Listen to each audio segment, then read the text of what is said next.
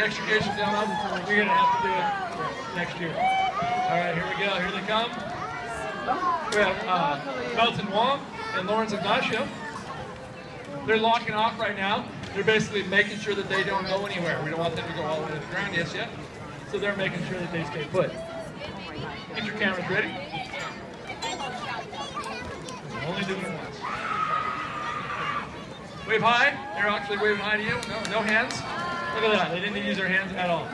We're waiting for uh, Lawrence Ignacio to finish what he's doing. Make sure he's super safe. There he goes. And they're going to bounce for you. No hands, Mom. Look, Mom, no hands. Excellent job, fellas. Uh-oh. What are they doing now? Upside down. Wave high them upside down. Okay, finally the exciting part. All They need to go back the other direction, I think.